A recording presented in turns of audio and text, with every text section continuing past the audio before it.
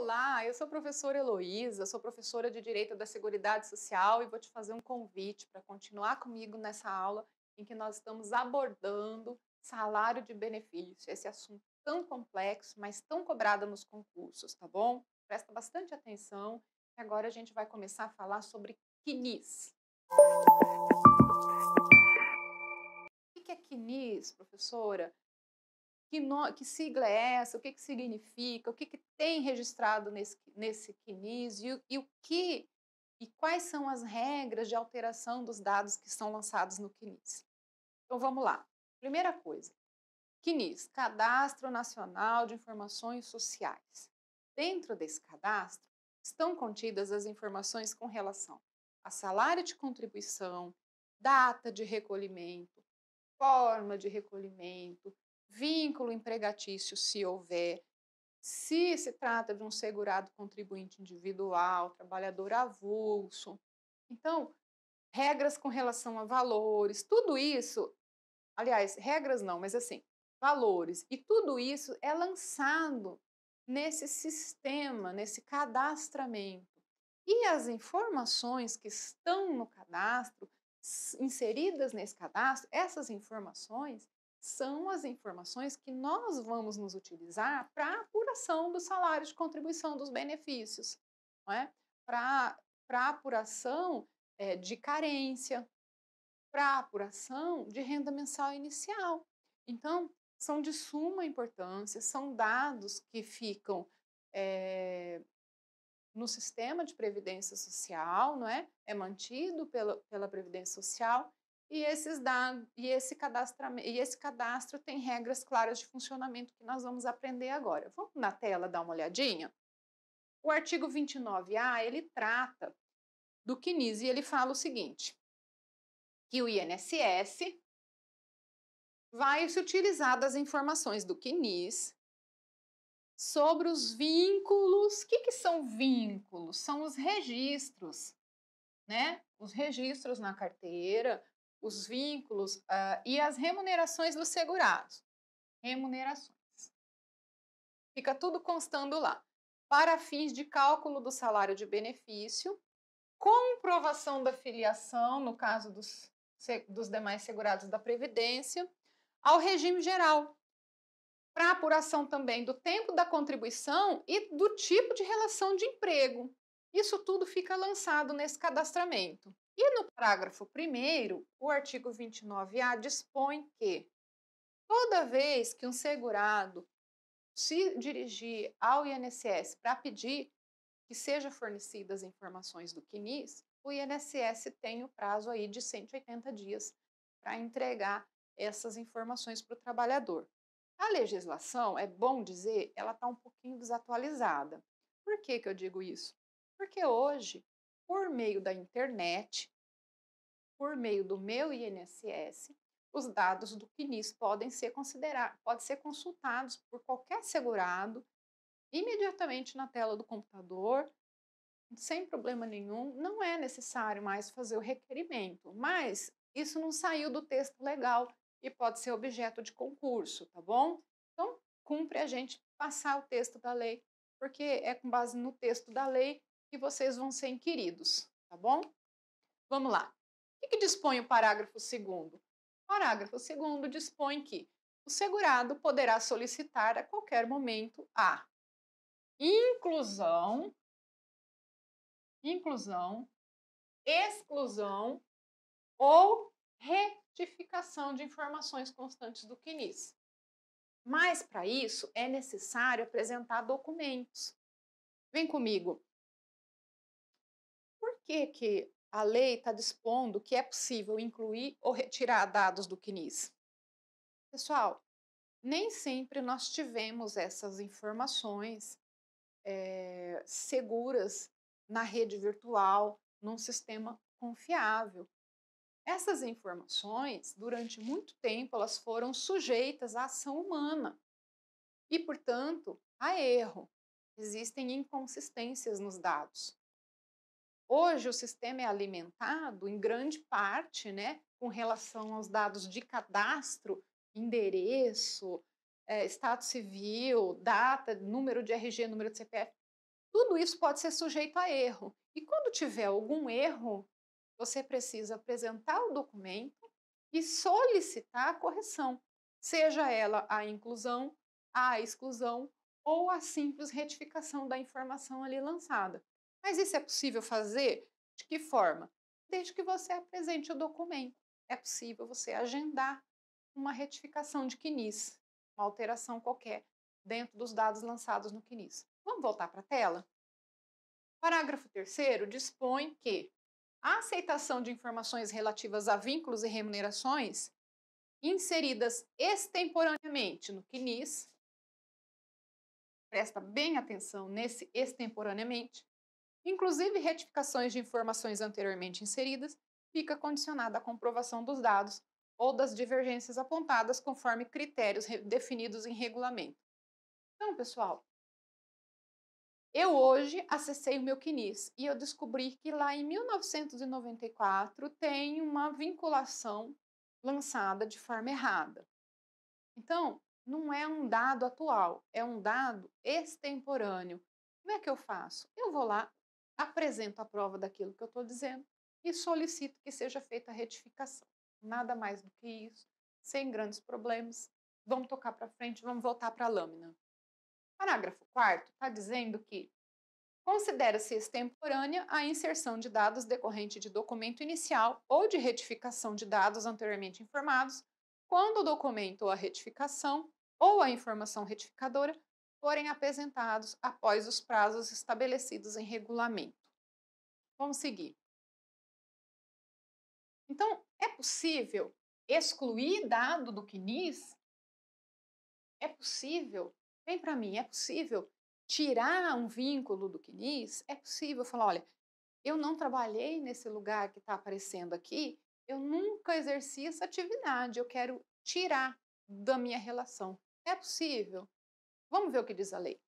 A lei diz que, havendo dúvida sobre a regularidade do vínculo incluído no CNIS e inexistência de informações sobre remunerações e contribuições, o INSS exigirá a apresentação dos documentos que serviram de base à anotação, sob pena de exclusão do período. Veja só, então quer dizer que não somente eu posso pedir a exclusão, mas o INSS, se ele desconfiar que aquele vínculo foi lançado irregularmente, ele mesmo pode me chamar na agência da Previdência, chamar o segurado na agência da Previdência e exigir que ele apresente documentos sob pena de exclusão? Sim, Pode. Veja só, agora tem uma lei nova que entrou em vigor que está a caça de benefícios com indícios de irregularidade. E isso vai ficar muito comum, a exclusão de dados lançados irregularmente no CNIS. Tá? E, em decorrência disso, até pode acontecer a suspensão e a cassação de alguns benefícios que foram concedidos com base em informações lançadas equivocadamente no, no. Então, aqui está o dispositivo legal que embasa tudo isso. Se existe uma informação equivocada lançada no CNIS, essa vinculação toda pode ser removida é, do INSS se o segurado não conseguir comprovar que aquela é, vinculação existiu de fato. Vamos voltar para a tela?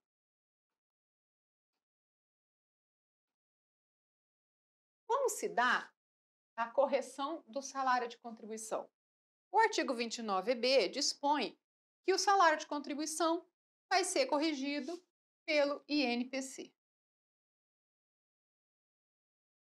Então, para apuração da, do salário, para apuração do salário de benefício, nós sabemos que é feita uma média aritmética de 80% das contribuições do salário de contribuição que foi vertido no período que, que, considerado, período considerado julho de 94, até a data do início do requerimento, beleza? Beleza. Mas, professora, de 94 para cá, teve inflação, teve um monte de coisa que aconteceu. Como vamos fazer para saber, para o meu, pro, pro meu salário de contribuição não perder a sua expressão financeira? Para eu não ser muito lesada, para o meu benefício não sair muito desatualizado? Estabeleceu-se e esses valores vão ser corrigidos pelo INPC, tá bom? É só isso que a gente precisa saber. Não é um artigo assim muito muito complexo, que seja muito difícil de compreender. Vamos tocar agora para frente, próximo que diz respeito à legislação. Pessoal, fator previdenciário, ele vai sempre incidir nos benefícios? Tem como escapar, professora? Porque, veja, nós temos direito ao melhor salário de benefício, ao melhor benefício, é um direito que é, ele é observado no direito previdenciário. Você trabalha, o segurado sempre tem opção de, de fazer a escolha do melhor salário de benefício, da melhor renda mensal inicial, melhor dizendo. E a melhor renda mensal inicial, ela pode ser obtida diversas formas. Existem pessoas que elas podem conseguir benefícios e ela pode ficar dentro de regras de cálculo distintas. Porque a nossa lei previdenciária, ela veio sofrendo alterações e ela tem regras de transição. Nas regras de transição, são feitas todas as formas possíveis de cálculo, porque muitas vezes eu atingi a condição de me aposentar na regra anterior. E nesse, nesse caso, eu posso ter direito a receber um benefício de valor melhor. Nesse caso, o que acontece? Eu faço o cálculo das duas formas, das duas formas possíveis, ou das três, ou das quatro, de tantas formas possíveis, quanto aquela que vai me garantir eu tenho um benefício de valor melhor. Então, nesse sentido, meus guerreiros, existe a possibilidade de escapar da incidência do fator previdenciário. Existe se você conseguir se encaixar na regra paralela de cálculo de benefício de aposentadoria por tempo de contribuição, que é a regra do 85-95. Então, que, que vai sempre que possível, nós vamos fazer, nós vamos tentar a aposentadoria por tempo de contribuição na regra do 85-95. E vamos deixar o fator previdenciário, se possível, para cálculo em que o fator previdenciário for me dar um valor melhor de renda mensal inicial. Como funciona a regra do 85-95? Vamos dar uma olhada? O artigo 29C, ele dispõe da regra do 85-95, que é o seguinte: em suma, você soma tempo de contribuição e mais a idade do segurado.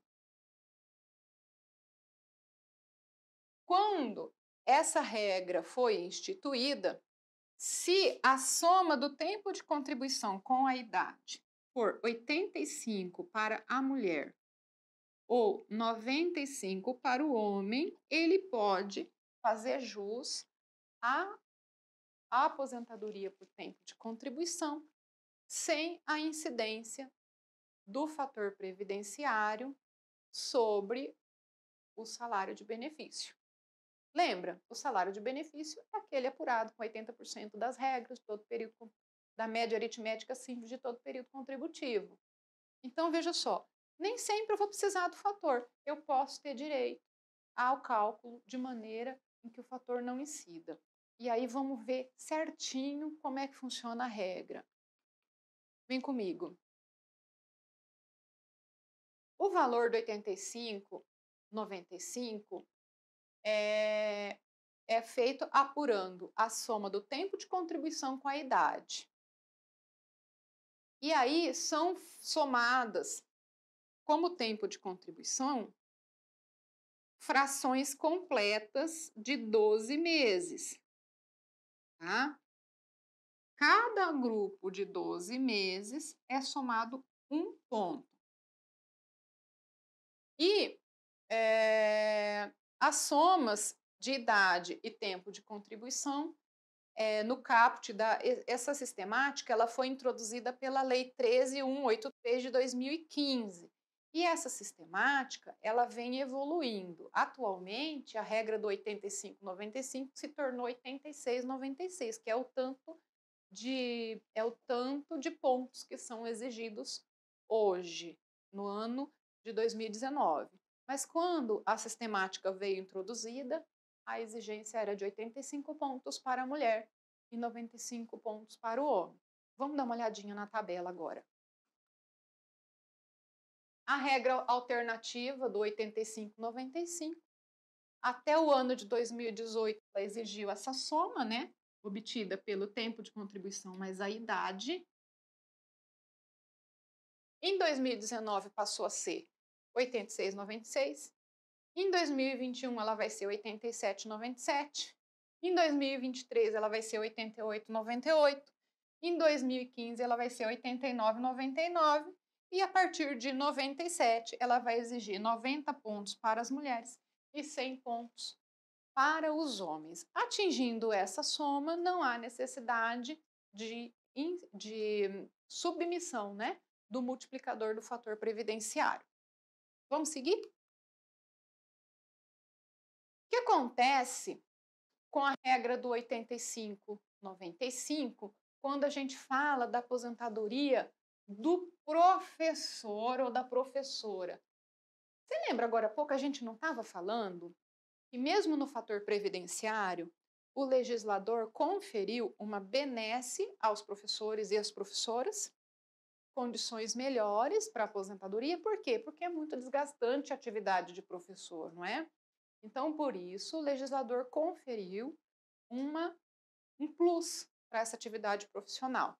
Nesse particular, a regra não muda com relação a, ao 85-95, a soma dos pontos, ao sistema de pontuação que a gente fala. No sistema de pontuação, o legislador cuidou de proteger os professores e as professoras, tá bom? Vamos ver o que diz a lei.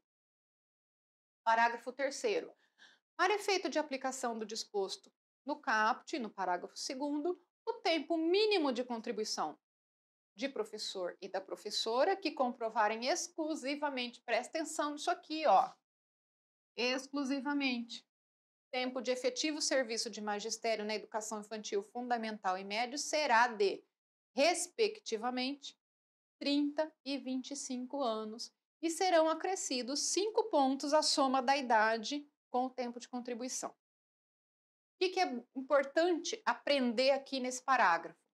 Que para o professor, tem tempo mínimo de contribuição, tá? Tempo mínimo de contribuição, que é de 30 anos para o homem e 25 anos para a mulher professora. Nesse caso, vamos, na hora da gente fazer a soma de pontos, a gente coloca mais 5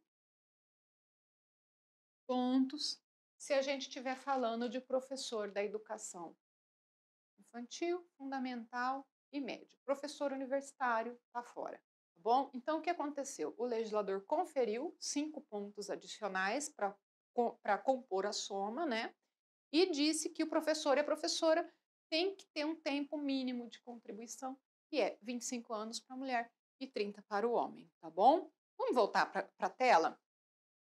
Ao segurado que alcançar o requisito necessário ao exercício da opção de que trata o caput e deixar de requerer aposentadoria, será assegurado o direito à opção com a aplicação da pontuação exigida na data do cumprimento do requisito.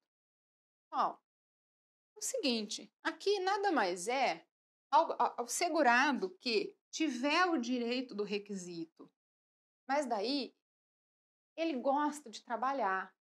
O segurado adora trabalhar. Ele acorda todo dia com aquela vontade imensa de trabalhar. Então, ele deixa para lá de pedir a aposentadoria dele. Ele fala: Olha, quero aposentar agora. Então, quer dizer, ele vai ficar sujeito às regras futuras? Não. Ele vai ficar sujeito à regra que vigia no dia em que ele conseguiu cumprir todos os requisitos para fazer o pedido da sua aposentadoria, tá bom? O que é isso? Nada mais é que é o legislador brasileiro privilegiando o direito adquirido das pessoas, tá bom? Pessoal, te convido para a fase final da nossa aula, tá? Essa fase final, a gente vai abordar umas particularidades pequenas com relação à matéria salário de benefício. Vem comigo na tela. Que particularidades são essas? Que o valor mensal do auxílio acidente integra o salário de contribuição para fins de cálculo de salário de benefício. Integra, pessoal, atenção a essa palavra, ela é chave. Então, o auxílio acidente, ele integra o salário de contribuição. Salário de contribuição mais valor do auxílio acidente é igual salário de benefício. Tá bom? É... E aí, veja só, outra coisa que é importante a gente falar é que uh, ele vai integrar o salário de benefício de qualquer aposentadoria observado no que couber o disposto no artigo 29, que são as regras que vão estabelecer de que forma que são calculados cada um dos benefícios, e a gente já viu isso aqui.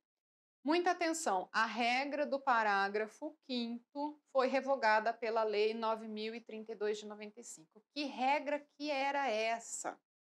A regra dizia respeito do falecimento do segurado que recebia auxílio acidente. Então, o auxílio acidente é aquele 50% do da renda do benefício anterior, de caráter indenizatório. E esse benefício, esse beneficiário do auxílio acidente, se ele viesse a falecer, a gente fazia, na regra antiga, tinha uma regra que determinava a soma, mas essa regra, ela acabou, tá? E é bom dizer por quê. O auxílio acidente, o auxílio acidente, ele antigamente poderia ser acumulado com a aposentadoria, mas a regra atual não permite acumulação. Tá bom? Vamos seguir com a legislação? Sobre as atividades concomitantes, meus amigos e minhas amigas, estudiosos, desbravadores do direito previdenciário, vem comigo.